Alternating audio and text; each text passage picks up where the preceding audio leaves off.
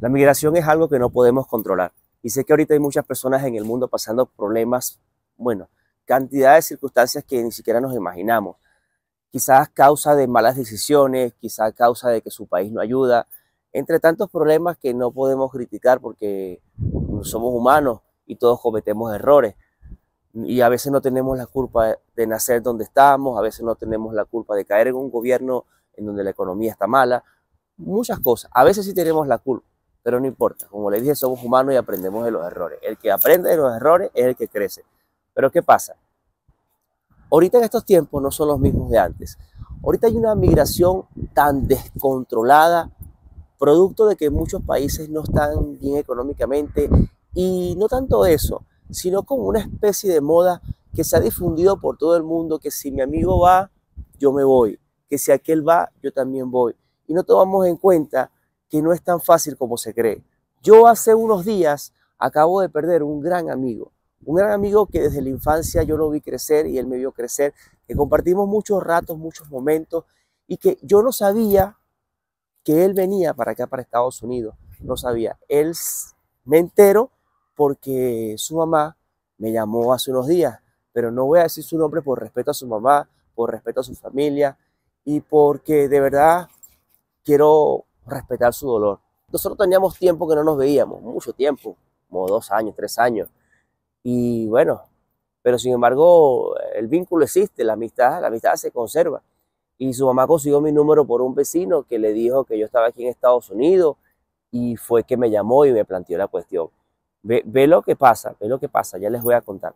Ve lo que pasa cuando uno toma a veces decisiones pensando que nos va a ir bien o pensando que, o contando con un solo plan, con un solo plan. Por eso es que a veces hay que tomar, a veces, a veces hay que pensar bien qué es lo que vamos a hacer o tener dos opciones antes de salir para alguna parte. Deja montarme en el carro para seguir hablándoles. Cuando ella me comenta que mi amigo se murió, ella me dice, mira Luis, yo le dije a él que no se fuera así. Yo le dije a él que, que buscara a alguien conocido y le preguntara dónde llegaron, en qué parte. De hecho, yo le comenté de ti, pero no, no nos enfocamos en ubicarte porque no sabíamos dónde estabas. Pues después fue que me entero por las redes sociales que tú tenías tu página y un vecino también y, empezaron a aparecer las personas que, que, sabían dónde estaba. Pero al principio ni, ni cuenta nos dimos o, no nos preocupamos por, por saber dónde estabas para que nos dieran un consejo, aunque sea. Ella me dice que él se vino para acá, para Estados Unidos, con un amigo. ¿Qué es lo que pasa? A él le prometieron que se iba a quedar en casa de alguien y que al llegar podían salir a buscar trabajo, podían caminar y, y empezar a caminar como hace todo el mundo. Pero que cuando llegaron a la frontera de México, cuando llegaron que hicieron toda la travesía desde su país hasta México, ahí en ese sitio hay una mafia, unas mafias que, que ustedes saben que eso no se ha acabado nunca ni se va a acabar. Ahí los robaron totalmente a los dos, ahí le hicieron de todo, los golpearon y los tuvieron como una semana. Después que le hicieron de todo y le dejaron sin, dinero, bueno, gracias a Dios nos dejaron ir.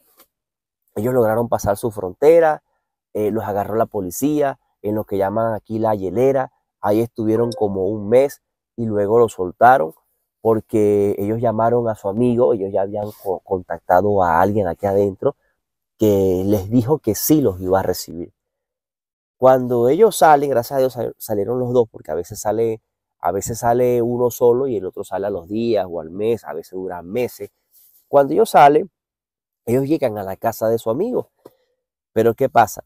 Su amigo, para sorpresa, por eso que le dije al principio que uno tiene que tener un plan B por situaciones como esta. Ellos obviamente salieron sin dinero, como muchas personas que salen de su país, salen con poco dinero o salen sin dinero o solamente lo necesario.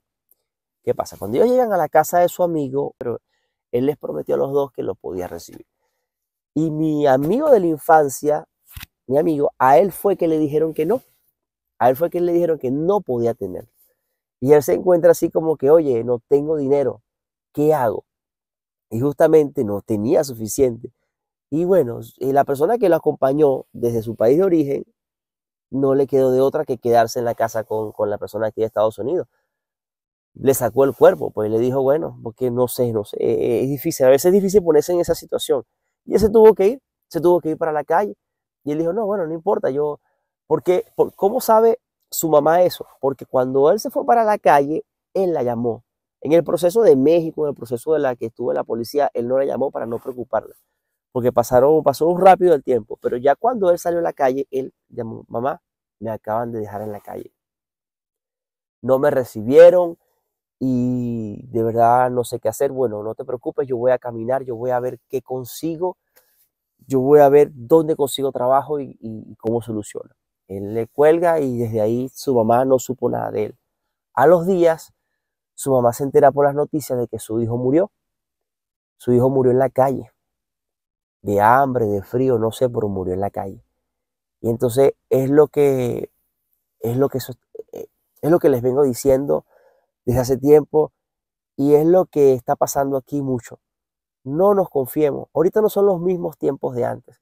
Ahorita la situación está más difícil y quizás queremos cambiar nuestra situación económica y buscar un mejor futuro, pero no tomamos en cuenta que los tiempos no son los mismos. Ahorita hay más peligros en la frontera. Ahorita hay más, vamos a decirlo así, menos ofertas laborales. ¿Por qué? Porque como hay tantos migrantes, se han llenado tanto los trabajos de, de, inmigrantes, valga la redundancia, y, está saturado, está saturado. Y los pocos, los pocos que quedan, los pocos que quedan disponibles son para personas con documentos, son para personas que, obviamente ganan, los, tienen los papeles. Y, no es fácil porque aquí internamente yo he visto casos de compañeros de trabajo que le tiran al otro con tal de cuidar su puesto para meter a un amigo de ellos. No es fácil, amigo. No es fácil. Los tiempos son distintos. No nos arriesguemos. Ve lo que le pasó a mi amigo, ve lo que...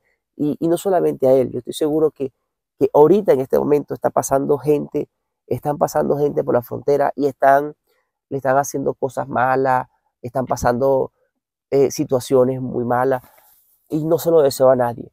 No son los mismos tiempos de antes, vamos a cuidarnos, no queremos que a un familiar o a un amigo de nosotros le pase lo mismo. Por favor, antes de tomar una decisión que mañana pasado nos vamos a arrepentir, porque no es solamente, ajá, me pasó algo, yo ya se murió la persona, no, sino que también afecta a la familia, también afecta a tu mamá, a tu papá, a tu esposa, a tus hijos, afecta a todo el entorno. No pensamos en que a ellos los va a dañar también, porque creemos que podemos solucionar. Antes de tomar una decisión, por favor pensemos también en nuestros seres queridos. Evaluemos si todas las acciones, evaluemos todas las opciones. ¿Me va a ir bien? ¿No me va a ir bien? ¿Qué puedo hacer? Tener un respaldo, como le dije, tener un respaldo. Una opción B en casos como este. Porque quizás si él hubiera tenido un dinero aparte, quizás si él hubiera llevado algo para alquilar, no le hubiera pasado eso. O sea, se lo a la calle, se fue a la calle y quizás él se hubiera ido a una parte hubiera alquilado un mes mientras él conseguía trabajo y ya él empieza a solucionar. Pero eso, eso es lo importante de tener un plan B. Bueno, vamos a cuidarnos, amigos. Vamos a cuidarnos. No son los mismos tiempos de antes, lo he recalcado mil veces en el video. Las cosas han cambiado. Y yo, como una persona que tengo empatía por otro, no me gusta ver a mi prójimo mal.